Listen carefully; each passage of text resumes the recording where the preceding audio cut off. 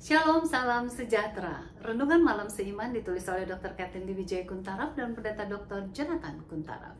Judul renungan malam seiman pada malam hari ini adalah Mengasihi Orang Asing. Jangan kamu lupa memberi tumpangan kepada orang, sebab dengan berbuat demikian beberapa orang dengan tidak diketahuinya telah menjamu malaikat-malaikat. Ibrani 13 ayat 2. Ini adalah ayat inti dari renungan malam seiman kita pada malam hari ini. Pemahaman tentang kasih Allah yang penuh gairah bagi orang yang terhilang, yang hancur dan terasing jelas diberikan dalam Matius 25 ayat 34 sampai dengan 40. Kitab suci mengatakan, dan raja itu akan berkata kepada mereka yang di sebelah kanannya, Mari, hai kamu yang diberkati oleh Bapakku, terimalah kerajaan yang telah disediakan bagimu sejak dunia dijadikan Sebab ketika aku lapar, kamu memberi aku makan. Ketika aku haus, kamu memberi aku minum. Ketika aku seorang asing, kamu memberi aku tumpangan.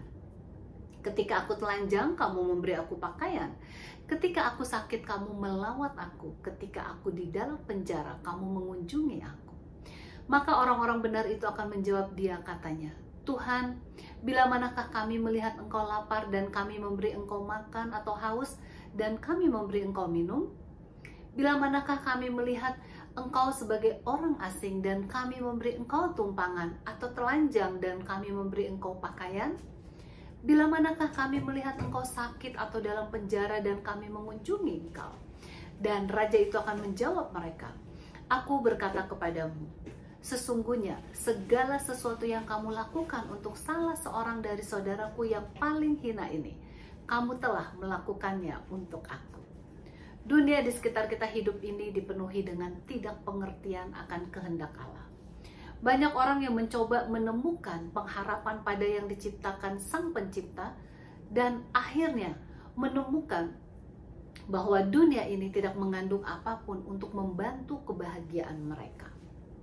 Hubungan dengan Yesus adalah satu-satunya sumber harapan bagi dunia ini. Tuhan rindu menggunakan kita untuk mengasihi orang asing di sekitar kita, sehingga mereka dapat masuk ke dalam hubungan dengan Tuhan kita yang rindu untuk menolong mereka, menafkahi mereka, membantu mereka, serta menawarkan harapan abadi kepada mereka. Banyak orang yang pada dasarnya bukanlah orang suka bergaul, konsep berbicara kepada orang asing menimbulkan suatu perasaan takut yang luar biasa. Kecenderungan alami kita adalah untuk pergi dari satu tempat ke tempat lain tanpa berinteraksi dengan siapa pun. Namun itu bukanlah kehidupan yang Bapa Surgawi kita kehendaki. Kita tidak dipanggil untuk menyimpan karunia keselamatan yang cuma-cuma itu untuk diri kita sendiri. Akan tetapi untuk membagikannya kepada semua orang yang Allah percayakan kepada hmm, kita. Hmm. Tuhan rindu untuk mengisi kita masing-masing dengan keberanian untuk mencintai yang yang tidak dicintai.